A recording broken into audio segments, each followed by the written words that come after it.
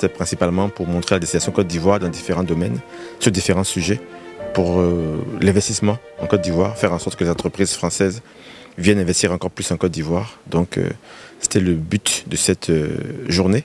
Et moi, sur mon domaine spécifique de l'économie numérique, de la télécommunication et de l'innovation, c'était aussi le moment de discuter avec les entreprises françaises sur tous les projets que nous avons en cours, sur l'initiative et puis sur ce que nous voulons faire. Notre ambition est réellement d'accélérer la transformation numérique accélérer la transformation digitale de notre pays. Donc et pour cela, tous les acteurs euh, qui souhaitent nous aider, qui souhaitent venir participer avec nous, sont les bienvenus. Donc euh, c'était l'occasion d'échanger sur ce sujet-là avec les entreprises françaises.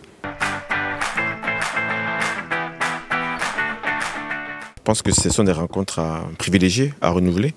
C'est très intéressant de pouvoir dire montrer ce qu'on fait et puis de voir aussi que la destination Côte d'Ivoire est une des destinations qui plaît. Ils ont dit eux-mêmes que depuis 10 ans, la Côte d'Ivoire fait près de 8% de croissance. Avec euh, le Covid, malgré le Covid, avec une économie mondiale en récession à moins de 2%, la Côte d'Ivoire a réussi à faire 2%.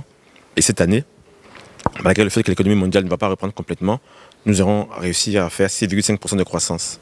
Donc euh, nous devons montrer notre pays, montrer que ce qui se fait se fait bien, montrer que la politique impulsée par le président Alassane Ouattara, avec euh, secondé par le Premier ministre Patrick Hachi, et tout l'ensemble du gouvernement, tout le monde du gouvernement se fait bien. Donc euh, voilà, nous ne pouvons qu'être fiers de ce que nous faisons.